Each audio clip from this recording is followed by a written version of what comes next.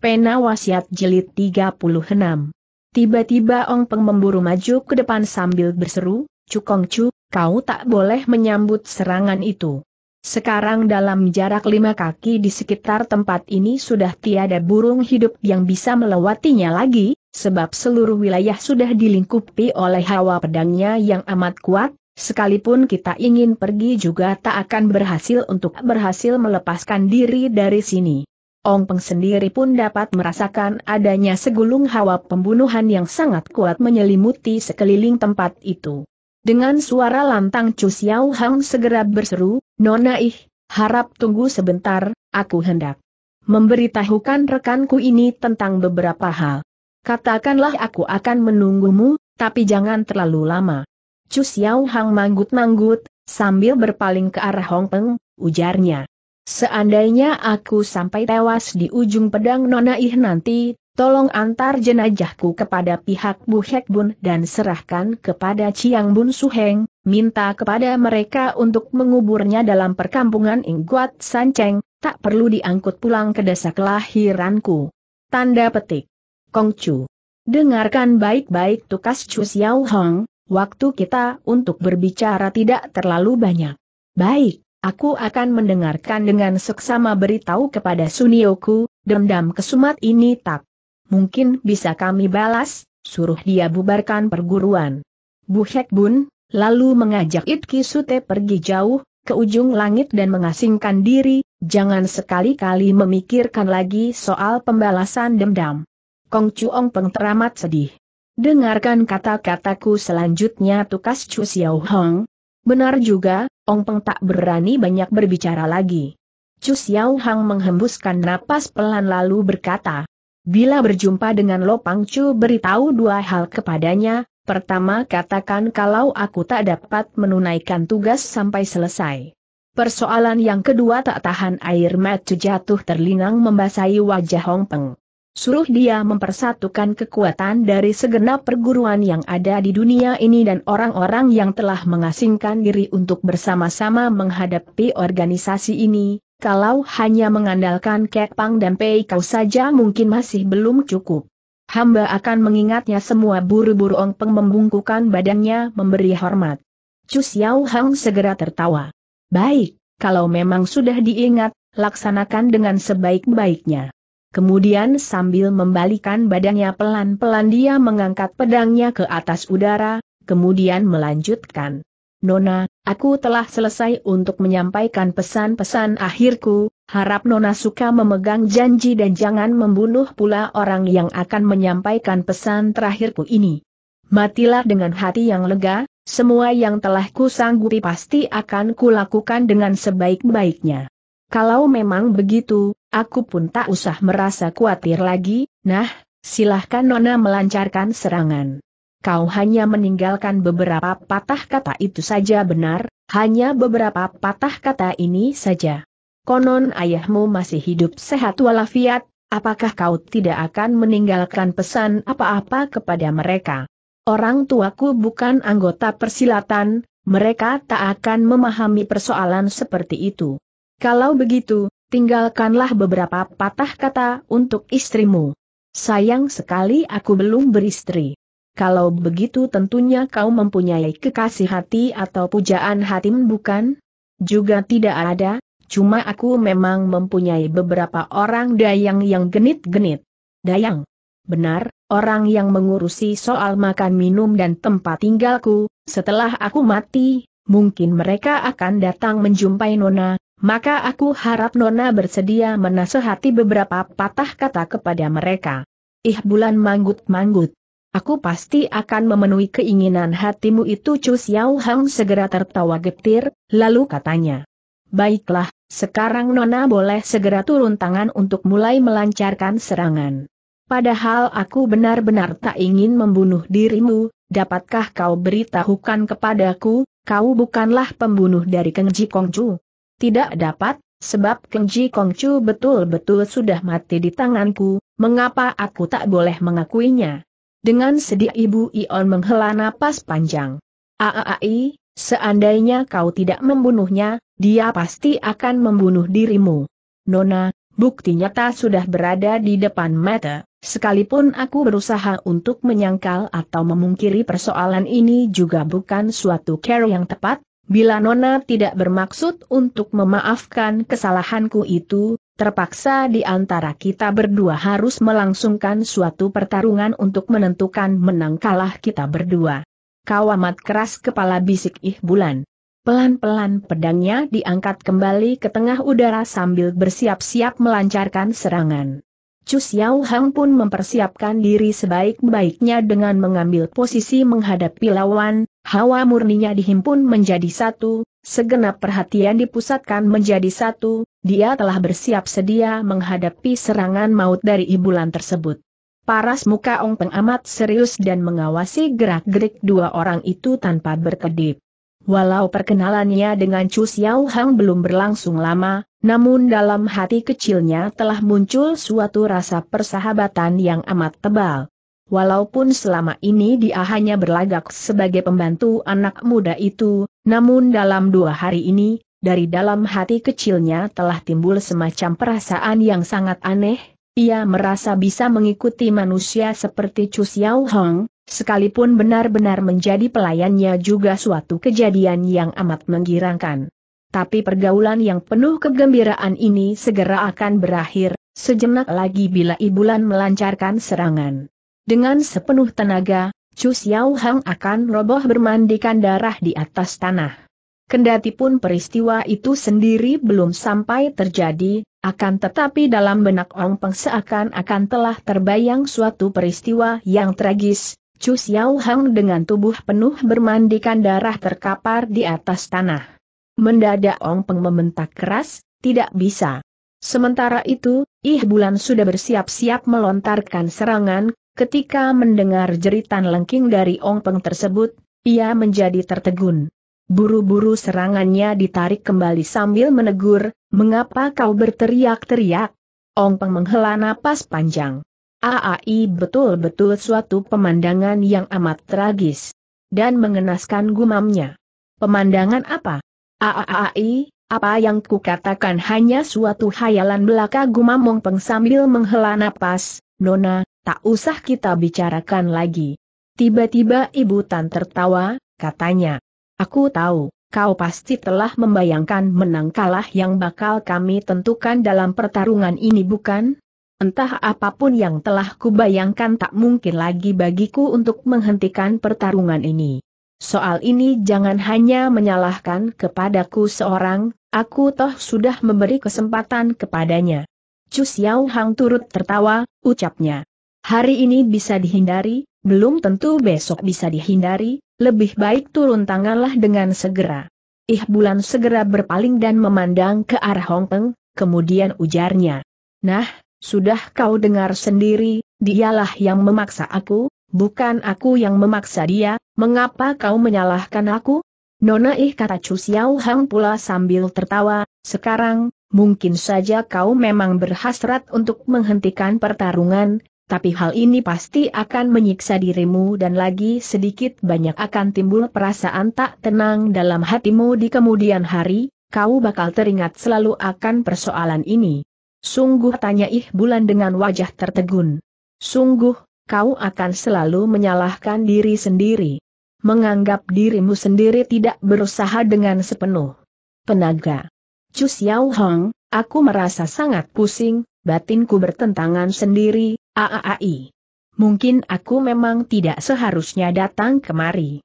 Nona, lancarkanlah seranganmu itu, dalam seranganmu itu, entah berhasil atau tidak membunuhku, kau pasti akan memperoleh ketenangan. Ih Bu Ion manggut-manggut, sekali lagi dia mengangkat pedangnya ke tengah udara sambil bersiap-siap. Serangan kali ini dia tidak ragu lagi, sambil melejit ke udara, pedangnya seperti sebuah biang lala tajam meluncur ke angkasa dan menyambar ke depan. Tiba-tiba Ong Peng memejamkan matanya rapat-rapat. Chu Xiao Hang menggerakkan pula pedangnya menciptakan selapis cahaya biang lalap putih yang amat menyilaukan mata. Teraang terdengar suara benturan nyaring berkumandang memecahkan keheningan, cahaya putih segera lenyap dan hawa pedang pun membuyar ke angkasa. Paras muka Ih Bulan berubah menjadi pucat pias seperti mayat, keningnya berkerut kencang, dia berdiri dengan pedang disilangkan di depan dada. Ternyata keadaan waktu itu tidak seperti apa yang dibayangkan Ong Peng tadi. Atau paling tidak, Chu Xiao Hang belum mati, sekarang keadaannya sudah amat jelas, Chu Xiao Hang berdiri dengan pedang melintang badan. Sekujur tubuhnya basah kuyup oleh darah yang bercucuran keluar amat deras. Luka itu terletak di dada bagian depan, tampak daging yang merekah keluar sampai darah segar yang berhamburan membasahi pakaian. Dalam keadaan demikian, asalih bulan melancarkan sebuah serangan lagi, niscaya Chu Xiao Hang akan terbunuh di ujung pedangnya. Ong Peng menjadi tertegun, serunya dengan cepat. Kong Chu cepat-cepat dia memburu ke depan. Ong Ping, aku baik sekali kata Chu Xiao Hang sambil tertawa, aku telah berhasil menyambut serangannya itu. Tapi kau terluka. Ah ah ah ah, apakah artinya sedikit luka ini? Dibandingkan dengan apa yang kuduga semula, keadaanku sekarang jauh lebih baik. Sementara itu, Ih Bulan telah menarik kembali pedangnya seraya berkata pelan. Chu Xiao Hong, aku telah berusaha dengan segala kemampuan yang kumiliki namun aku tak berhasil membunuh dirimu. Ehm, apa yang kau katakan memang benar, hatiku sekarang pun lebih tenang dan tenteram, Aku sudah memberikan pertanggungan jawab kepada calon suamiku, dengan tulus hati dan bersungguh-sungguh aku telah berusaha untuk membalaskan dendam baginya akan tetapi aku gagal untuk melakukannya. Nona, apakah kau masih ada rencana lain? Tidak ada, aku hendak pergi, aku akan pergi meninggalkan tempat ini, jika kau amat dendam kepadaku, setiap saat kau boleh datang mencari aku untuk membuat perhitungan. Chu Xiao Hang segera menggelengkan kepalanya berulang kali, katanya. Nona, kau telah berusaha keras demi Kenji Kongcu, janji kepada dirimu sendiri pun sudah terpenuhi, sekarang aku ingin mengajak Nona untuk memperbincangkan masalah dunia persilatan. Aku tak pernah melakukan perjalanan dalam dunia persilatan, orang yang ku kenal pun tidak banyak, terhadap urusan dunia persilatan pun mengetahui amat terbatas sekali. Mungkin saja persoalan tentang dunia persilatan yang kau ketahui tidak banyak tapi untuk membedakan mana yang baik dan mana yang tidak timbul dari sanubari masing-masing orang sendiri, hal mana sama sekali tiada sangkut pautnya dengan masalah dunia persilatan. Ih bulan termenung dan berpikir beberapa saat lamanya, kemudian berkata, Aku tak lebih hanya seorang anak perempuan yang tidak banyak pengalaman, yang tak tahu urusan apa-apa, jangan terlalu mengharapkan diriku, nah aku hendak pergi dulu, baik-baiklah menjaga dirimu baik-baik. Setelah tertawa sedih, dia melanjutkan. Bukit tidak berbelok, jalannya yang berbelok, mungkin saja kesempatan kita untuk bersua kembali di masa mendatang masih terbuka lebar. Sambil membalikan badan, dia mengajak dayangnya beranjak pergi meninggalkan tempat itu. Dengan termangu-mangu Chu Xiao Hang memperhatikan bayangan punggung dari ibulan, memandang hingga bayangan itu lenyap dari pandangan mata. Ong Peng menghembuskan napas panjang, ujarnya kemudian. Kongcu, mari kita bungkus lukamu itu. Chu Xiao Hang manggut-manggut. Ong Peng, dia mengetahui banyak sekali rahasia besar yang kita perlukan, sayang dia enggan untuk mengutarakannya. Kongcu, mungkin kau lupa, dia memang sebetulnya adalah musuh kita semua. Mulut luka itu dalamnya mencapai tiga inci dengan panjang setengah depa, andai kata luka itu seinci lebih. Dalam lagi, besar kemungkinannya akan melukai isi perut atau otot tulangnya. Sementara itu Ong Peng sembari membubuhkan obat pada luka dada itu, diam-diam dia berdoa bagi keselamatan Xiao Hong. Sebaliknya Chu Xiao Hong sendiri tidak memperdulikan keadaan lukanya, dia termenung dengan kening berkerut, seakan-akan sedang mempertimbangkan suatu masalah besar yang amat pelik baginya. Selesai membalut luka tubuh Chu Xiao Hong, Ong Peng lalu baru berbisik dengan lirih. Kong Chu, sudah saatnya buat kita untuk pulang, lukamu itu tidak ringan, lebih baik istirahatlah dulu selama beberapa hari. Dengan nada setengah menjawab setengah tidak, Chu Xiao Hang berkata, Ong Peng, apakah dari pihak Kei Pang telah mengirim metu-metu yang mengawasi daerah di sekitar tempat ini? Sebenarnya ada, tapi untuk memenuhi harapan Kong Chu, Tan Tiang Lo telah menitahkan untuk membuyarkan semua pengawasan di sekeliling tempat tersebut. Mendadak Chu Xiao Hang melompat bangun sambil berseru. Kita segera berangkat. Cepat laporkan kepada Tan Tiang Lo, kita harus menguntit nona tersebut berbicara sampai di situ, mendadak keningnya berkerut kencang, seakan-akan merasa kesakitan. Jelas mulut lukanya kembali merekah akibat dari goyangan badannya barusan. Ong Peng menghela napas panjang, katanya.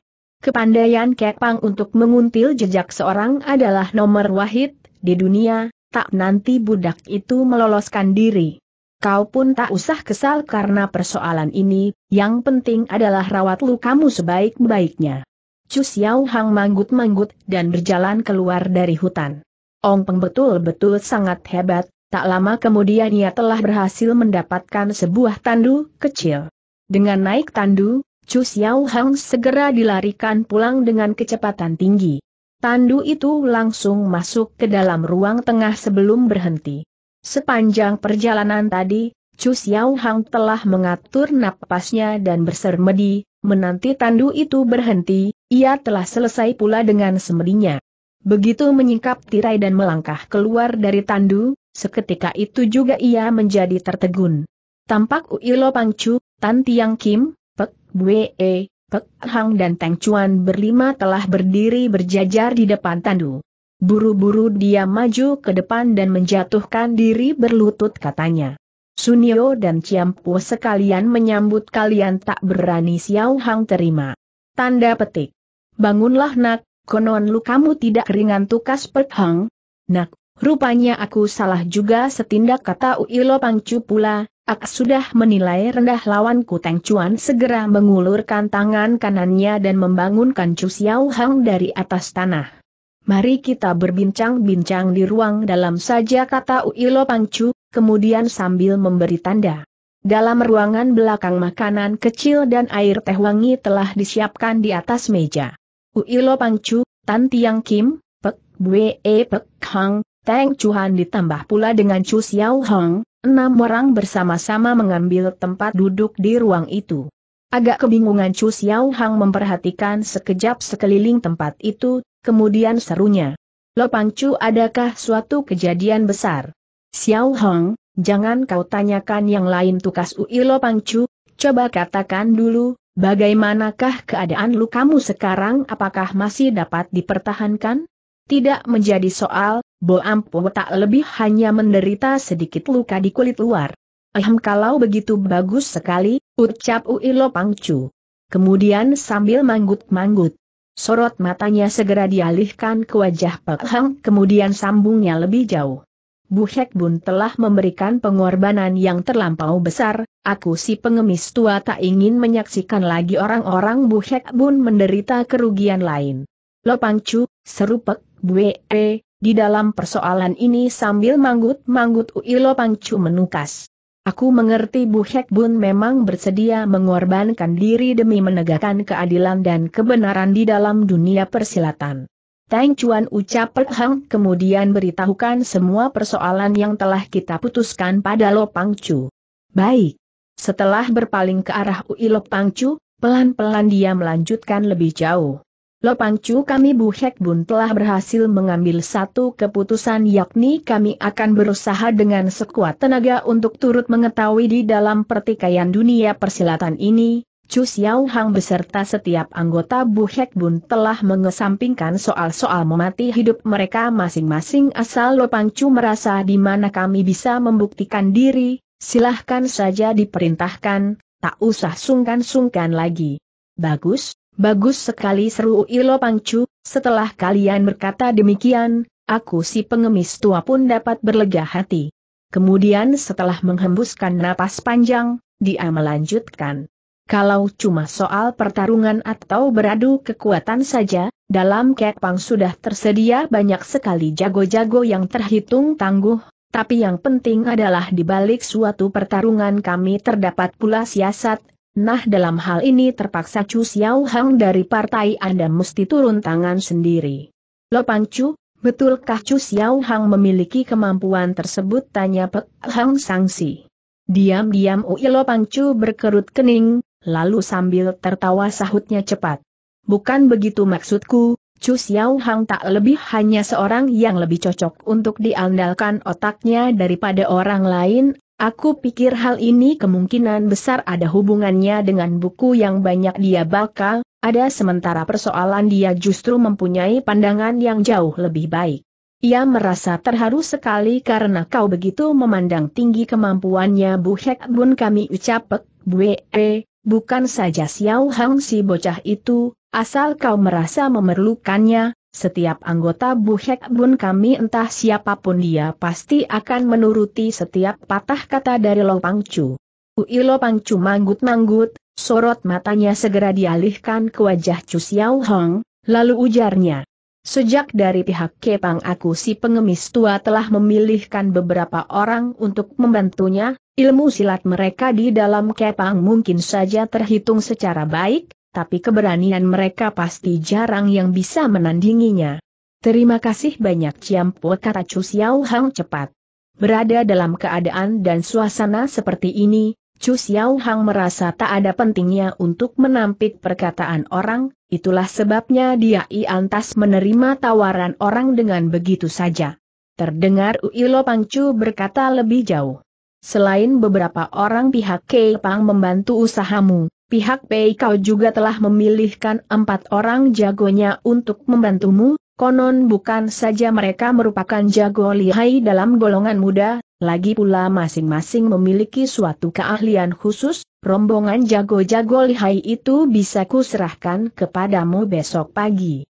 Lo Pangcu, apakah dari pihak Bu Hek Bun kami juga tidak mengutus wakilnya? Boleh saja, aku telah meninggalkan sebuah tempat kosong bagi kalian hanya seorang saja. Kei Pang telah mengutus tujuh orang, Pei Kau empat orang, tujuh tambah empat sudah sebelas, maka jika pihak Bu Hek Bun mengirim satu orang lagi, jumlahnya persis mencapai dua belas orang. Tang Chuan segera berpaling dan memandang sekejap ke arah Pek Hang, kemudian katanya, Sunio, biar Tecu. Tidak bisa tolak Pek Hang cepat, kau adalah Chiang Bunjin dari suatu perguruan, mustahil bagimu untuk pergi dari sini, biar Etki saja yang pergi. Betul Teng Chuan, sudah sepantasnya kalau Etki yang pergi sambung PBWE pula. Baiklah, tapi Seng Susyok dan Tecu pernah membicarakan persoalan ini, dia ingin membantu Xiao Hong. Baiklah ucap Uilo Pangcu kemudian.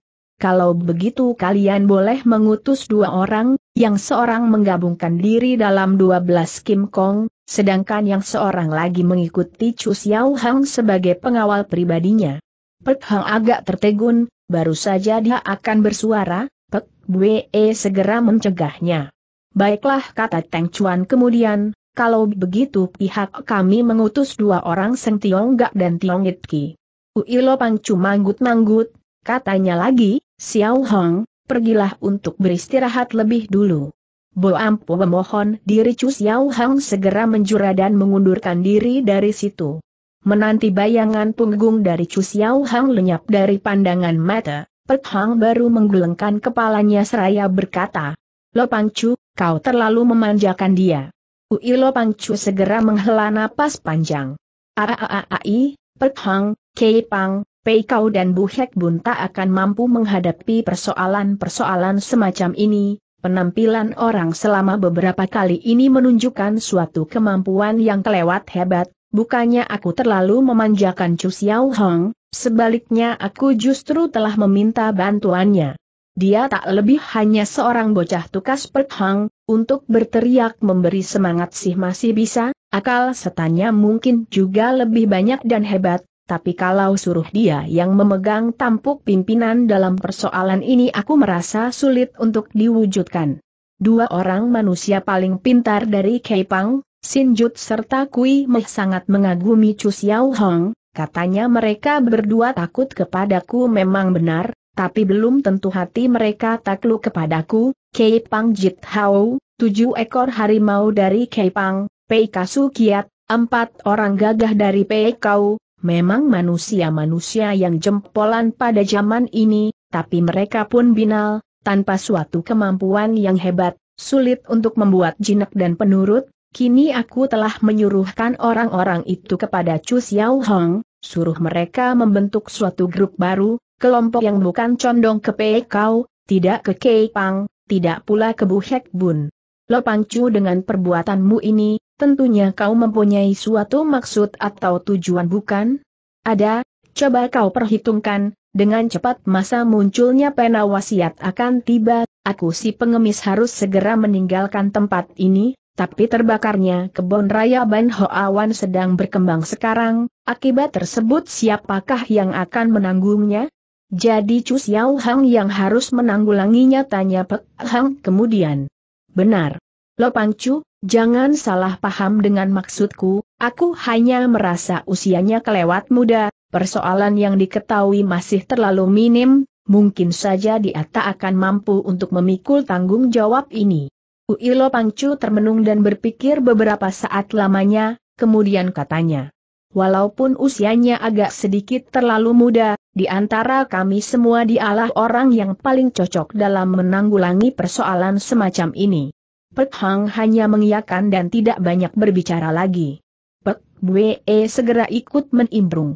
Lo Pangcu, aku percaya kau pasti sudah memperhitungkan segala sesuatunya dengan seksama, membentuk satu grup baru macam mereka memang merupakan suatu kelompok kekuatan yang cukup tangguh, tapi apakah mereka tidak sedikit kelewat muda? Menurut pendapat Pek Klote.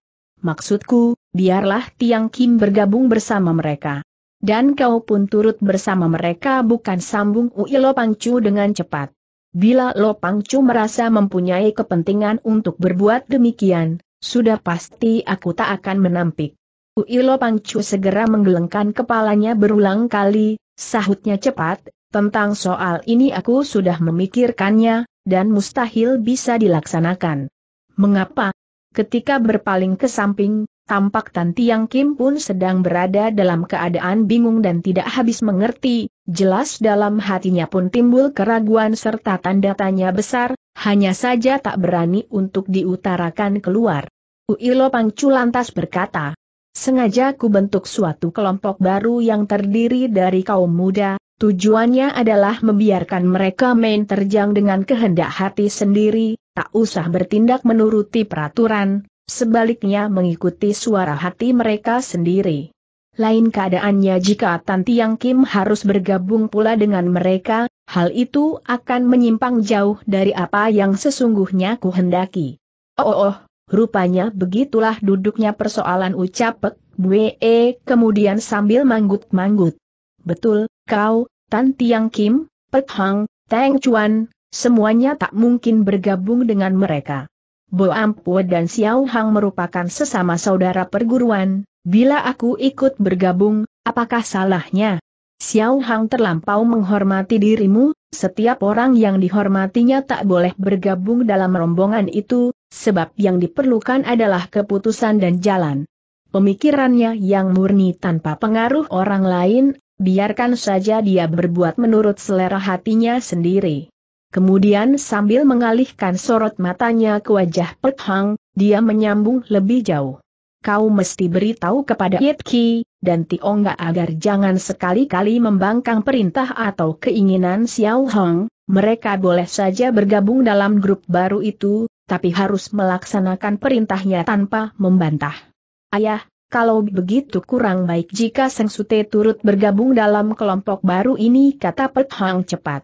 Tidak menjadi soal, biar aku yang akan menyampaikan persoalan ini kepada Tionggak sendiri, suruh dia melindungi keselamatan Xiao Hang semampunya. Pek Hang lantas manggut-manggut dan tidak banyak bicara lagi. Uilo Pangcu memandang sekejap sekeliling tempat itu, kemudian sambil manggut-manggut ujarnya. Baiklah persoalan telah kita putuskan demikian, cuma Pek Lote, kau pun tidak berarti cuma menganggur belaka. Bila Lo Pangcu ada persoalan, silahkan saja diperintahkan. Kau, Pek Hang Titli, Teng Chiang Bun Jin, terhitung orang-orang Bu Hek Bun, maka kalian mesti mengikuti aku si pengemis tua untuk menghadiri kemunculan kembali pena wasiat di depan masyarakat dunia persilatan. Belum pernah kujumpai keramaian seperti ini kata Pek Bue, bila Lo Pangcu bersedia mengajak kami, dengan senang hati kami pasti akan menerimanya. Ui Lo Pangcu kembali tertawa. Pek Lote, Aku bersama kau Cu pihak Pei kau bersama-sama membentuk kelompok 12 Kim Hang dengan menggunakan anggota paling muda dari perguruan masing-masing untuk diserahkan kepada Chu Xiao Hong. Sejak penggabungan tersebut, kedudukan mereka di dalam Kepang maupun Pei kau telah turut terhapus pula. Lo Chu mengapa harus demikian seru Teng Chuan agak tertegun, apakah kami Bu Hek Bun juga harus melakukan hal yang sama? Apakah tindakan Bu Hek Bun, Aku si pengemis tua tidak mempunyai pendapat apa-apa, cuma aku si pengemis tua harus memberitahukan alasan di balik tindakan kami itu kepada Teng Chiang Bunjin. Silahkan Lo Pangcu memberi petunjuk. Aku si pengemis tua memberitahukan kepada mereka bahwa tugas ini merupakan suatu pengorbanan dan lagi secara jelas telah memberitahukan kepada mereka sudah meninggalkan Kepang dan Pei Kau. Itu berarti mereka sudah terlepas sama sekali dari ikatan perguruan tersebut, semua peraturan yang berlaku dalam Kepang dan Pei Kau sudah tidak berlaku lagi bagi mereka, mereka hanya akan melakukan suatu tugas saja yakni menurut perintah dari Chu Xian Hong, selanjutnya segala sesuatunya hanya terpusatkan pada mati hidup menang kalah Chu Xiao Hong dalam melakukan tugas ini. Lo Pang Chu, kalau begitu Seng Susyok dan Itki Sute juga harus menanggalkan keanggotaan mereka di dalam Buhek Bun? Soal ini lebih baik kau pikirkan sendiri, Selain itu aku si pengemis tua menyuruh mereka menanggalkan keanggotaannya dalam Kepang dan Pei Kau karena masih ada satu alasan lain, yakni tidak berharap mereka terikat oleh banyak sekali peraturan, sebab dalam banyak perguruan di dalam dunia persilatan berlaku pula banyak sekali peraturan turun-temurun yang amat ketat. Peraturan-peraturan tersebut sesungguhnya hanya melarang anak muridnya untuk tidak melakukan kejahatan, berjalan ke aliran sesat, tapi bila menghadapi suatu organisasi yang sama sekali tidak memperdulikan soal peraturan dunia persilatan, berbuat demikian sama artinya dengan berkelahi sambil mengikat kedua belah tangan sendiri. Betul Bo Amput pun mempunyai perasaan begitu ucap Cheng Chuan. Nah, itulah sebabnya aku ingin mereka membentuk suatu kelompok baru yang istimewa, Suatu kelompok yang tidak terikat oleh pelbagai macam peraturan, tapi menjadikan Chu Xiao Hang sebagai otak atau motor dalam grup tersebut. Lo Pangcu, sampai di manakah kemampuan dari suatu kelompok baru yang cuma terdiri dari 12 orang, apakah mereka mampu untuk menghadapi suatu organisasi rahasia yang begitu besar kemampuannya? Soal ini tentu saja kami harus menunjang di belakang mereka, cuma buat kita segala sesuatunya harus dilaksanakan dengan menurut peraturan yang ada. Ehm, sekarang Bo Ampu sudah agak mengerti Teng Chuan manggut-manggut. Tentu saja orang yang mengelilingi Chu Xiao Hang bukan hanya kedua belas orang itu saja sambung Uilo Pangcu kemudian, kecuali ketiga orang dayangnya, Chu Xiao Hang juga mempunyai pembantu seperti Sin Jut, Kui Meh dan Tiong Ki dari partai kalian, ditambah pula dua orang bocah pedang yang berada di samping Pei Kau Kau Chu. Selama ini, hingga orang yang berada di samping Chu Xiao Hang meningkat menjadi 18 orang, walaupun kekuatan tersebut belum terhitung sangat kuat, tapi toh lumayan juga. Lo Chu, dengan berbuat demikian, apakah hal ini tidak seperti terlalu menyanjung kemampuan Chu Xiao Hang Timbrung Pek Hang tiba-tiba? Pek Hang, ada dupa baru berbau harum, dia mempunyai kecerdasan serta kemampuan yang luar biasa, itulah sebabnya aku si pengemis tua dan Pei Kau Kau Chu bersedia untuk berbuat demikian. Lopang Chu, jalan pemikiranmu kali ini benar-benar membuat hati orang merasa terharu, setelah menyaksikan cara kerja Lopang Chu yang lebih mengutamakan kepentingan umum daripada kepentingan pribadi, Bo Ampu menjadi malu sendiri. Hian Titli, setelah kau berkata demikian aku si pengemis tua malah merasa tidak tentram, aku berbuat demikian sebenarnya ada banyak hal yang bertentangan dengan peraturanku sendiri. Untuk kepentingan umum, rasanya soal sepele tak perlu dipikirkan lagi. Baik, Hian Titli bisa berpikir demikian, aku si pengemis tua merasa gembira sekali.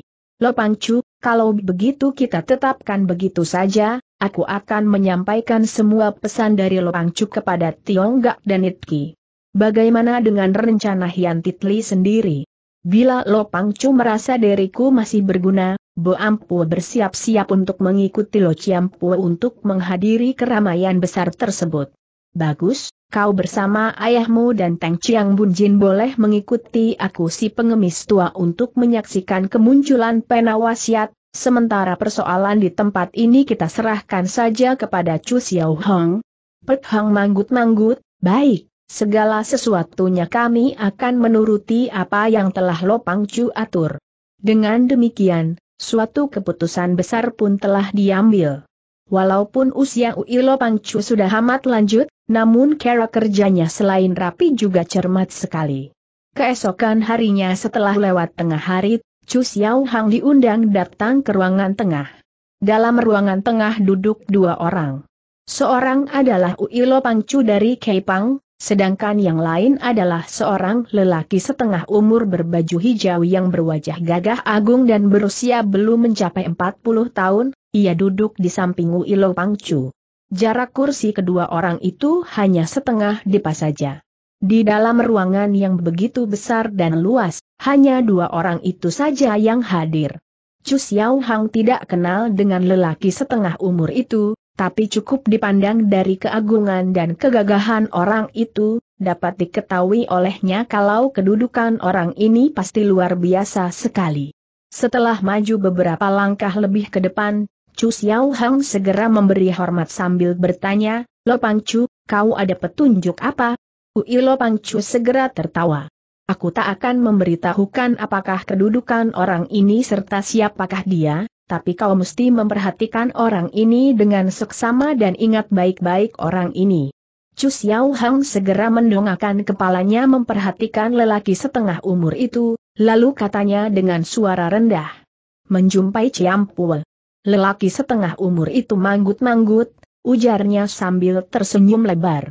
Bagus, bagus sekali, Uilo Pangcu memang pandai mengenali seorang Eng Hyong, dia amat menghargai dirimu itulah dikarenakan kasih sayang dari Lopangcu. Lelaki setengah umur berbaju hijau itu hanya tertawa dan tidak bicara lagi. Xiao Hang kembali Lopangcu berkata, aku telah memilihkan 12 orang untukmu, sebentar mereka akan datang untuk menjumpai dirimu. Ucapan itu membuat Chu Xiao Hang tertegun. 12 orang serunya, dari mana datangnya orang-orang itu? Dari mana datangnya mereka tak usah diurusi, mulai sekarang mereka akan menjadi anak buahmu semua, hanya perintahmu saja yang mereka turuti, bagi mereka tidak berlaku masa yang lalu, yang ada hanya masa di kemudian hari. Baik, Sao Hang akan mengingatnya selalu. Kedua belas orang itu, kami sebut sebagai dua belas Kim Kong, apakah kau menyetujui panggilan ini? Chu Xiao Hang termenung dan berpikir beberapa saat lamanya, kemudian menjawab, soal ini Bo Ampo baru bisa menjawab setelah berjumpa dengan mereka nanti. Terhadap seorang tokoh agung macam Uilo Pangcu, sesungguhnya jawaban dari Chu Xiao Hang tersebut bernadakan kurang hormat. Akan tetapi Uilo Pangcu justru sangat kagum atas jawaban dari Chu Xiao itu sambil mengangguk berulang kali katanya. Bagus, bagus sekali, memang dalam persoalan ini kaulah yang lebih berhak untuk memutuskannya. Agaknya lelaki setengah umur berbaju hijau itu pun merasa amat senang dengan sikap dari Chu Xiao Hong, sambil tertawa dia mengangguk berulang kali. Lo Chu kata Chu Xiao Hong kemudian Bo Ampu mempunyai beberapa persoalan yang tidak kupahami, ingin sekali kumohon beberapa petunjukmu. Baik, tanyakan saja, bila kau mempunyai persoalan, memang seharusnya ditanyakan sampai jelas. Padahal persoalan yang hendak Bo Ampu tanyakan hanya ada dua, Lo Pangcu suruh aku berbuat apa dan bagaimana care ku lakukannya? Ku serahkan satu kelompok manusia kepadamu untuk melindungi keselamatan jiwamu. Apakah kedudukanku? Pemimpin kelompok, bukan Bu Hek Bun, juga bukan Kepang, kau senang berbuat bagaimana, lakukan menurut seleramu sendiri, tiada peraturan yang membelenggu dirimu. Chu Xiao Hang segera mengangguk. Tentang soal ini Bo Ampu cukup paham, tapi masih ada satu hal lagi, yaitu bagaimanakah tugas Bo Ampu selanjutnya.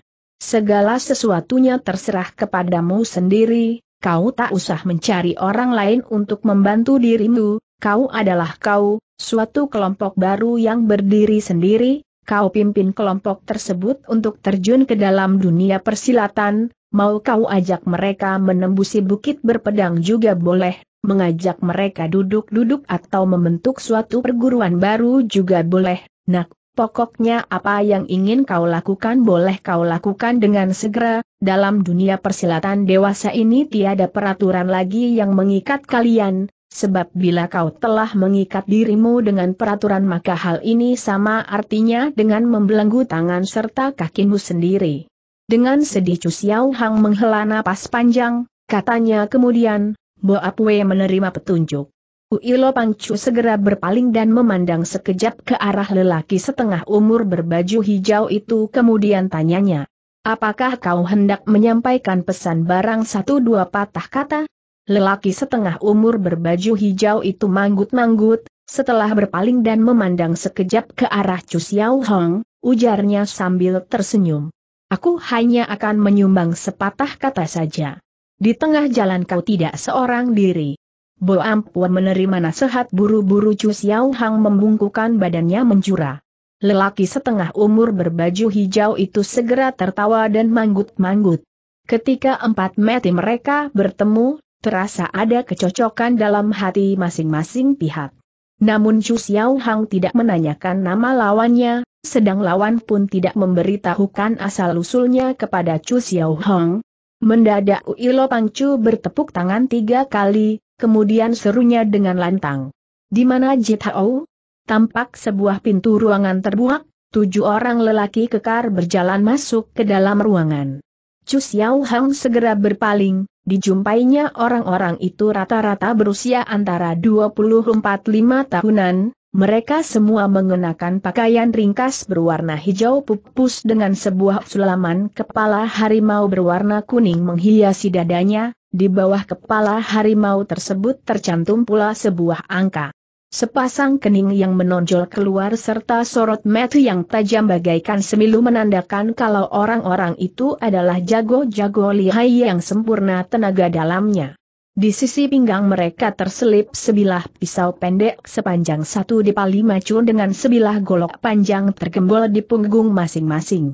Chu Xiao Hang mengerti kalau mereka adalah anggota Kei Pang, tapi pakaian serta senjata yang mereka pergunakan sekarang jauh berbeda dengan peraturan yang berlaku turun-temurun di dalam perkumpulan Kepang.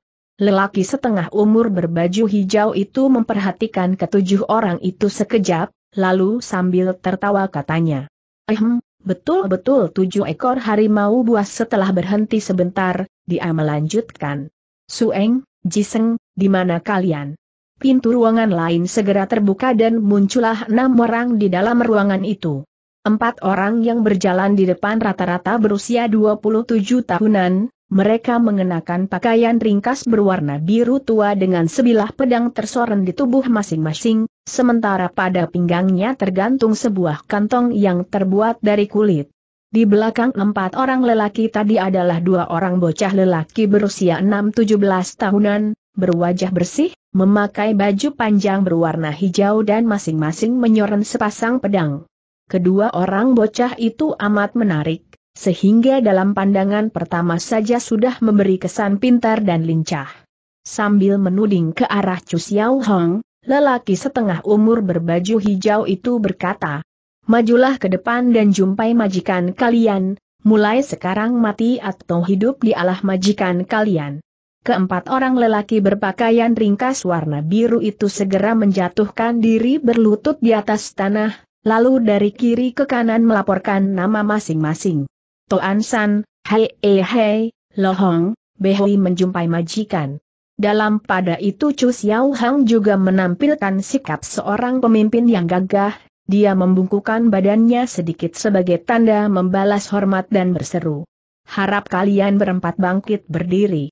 Keempat orang itu mengiyakan dan segera berdiri serius di samping ruangan.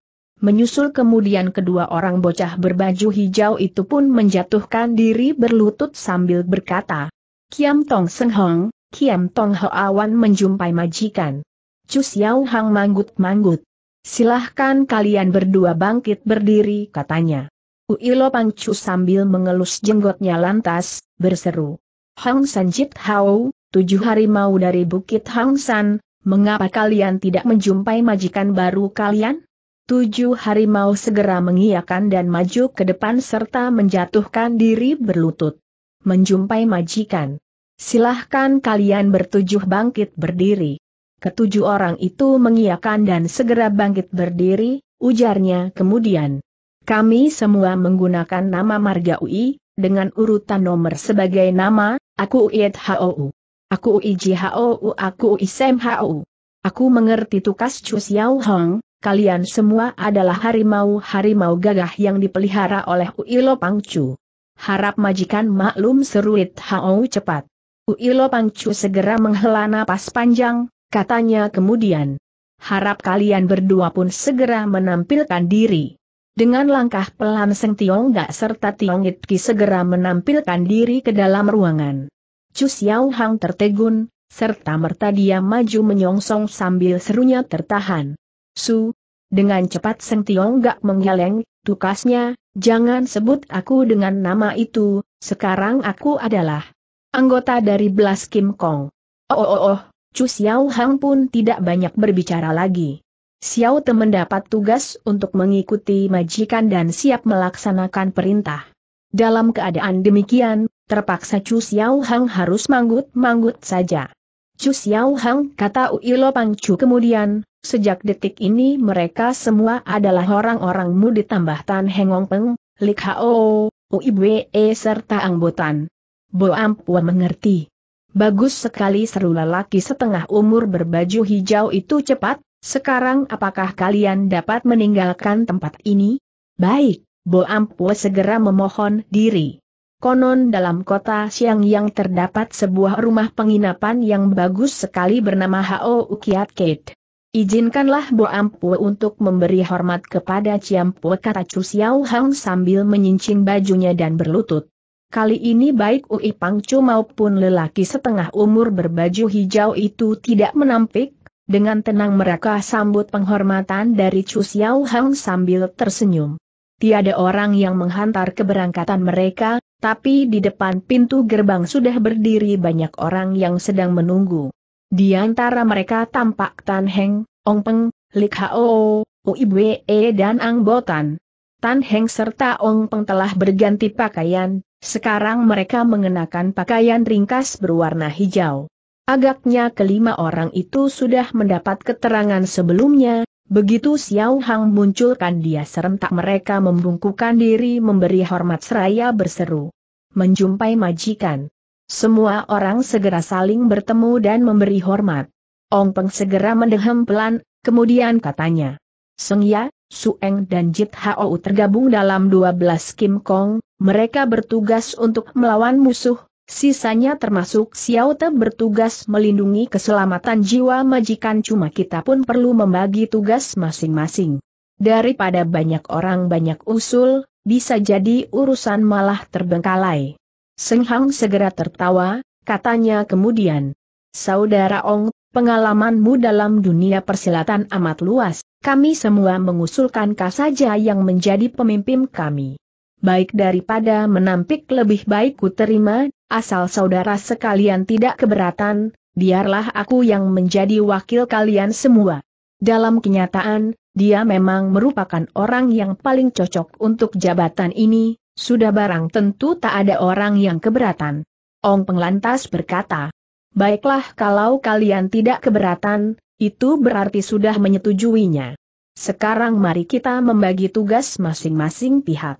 Sorot matanya dialihkan ke wajah Lik Hao, Uibwe dan Ang Botan kemudian, pelan-pelan berkata, kalian bertiga mengurusi keperluan sehari-hari majikan. Lik Hao segera membungkukan badannya memberi hormat. Xiao Moai sekalian terima perintah. Tak usah sungkan-sungkan jawab Pong Peng. Sorot matanya segera dialihkan ke wajah Seng Hang dan Ho Awan, kemudian melanjutkan, kalian berdua adalah pengawal pribadi majikan siang malam menjaga di sampingnya.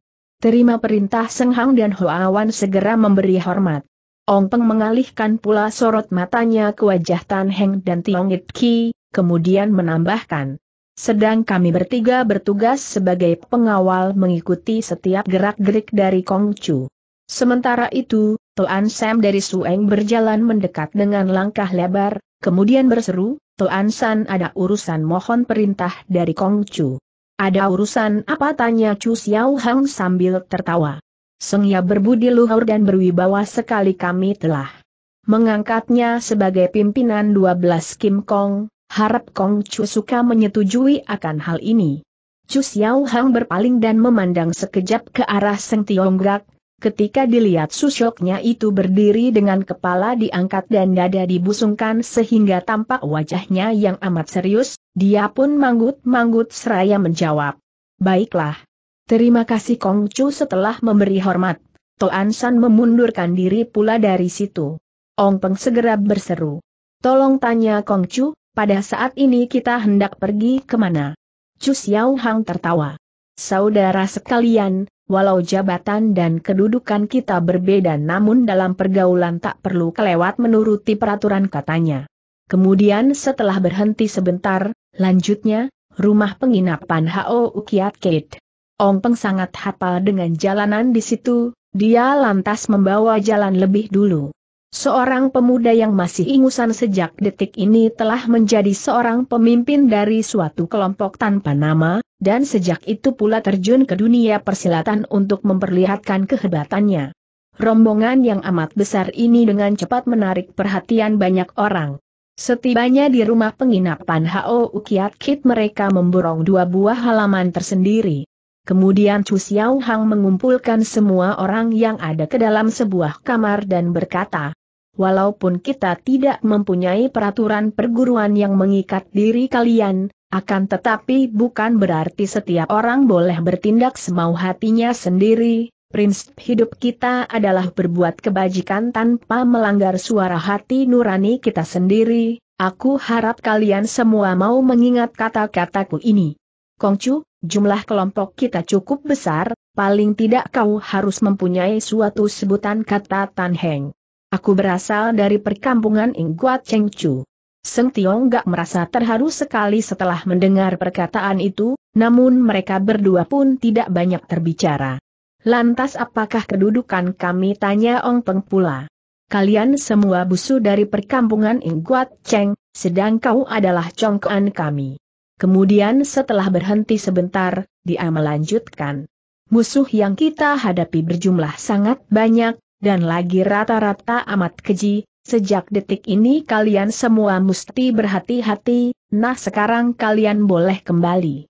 Beberapa patah kata itu diucapkan amat singkat dan sederhana, sepintas lalu kedengarannya tidak berarti, namun sesungguhnya telah menerangkan satu hal yakni mereka boleh turun tangan menghadapi setiap lawan dengan mempergunakan care apa pun, tiada pantangan yang melarang mereka untuk menggunakan ini itu.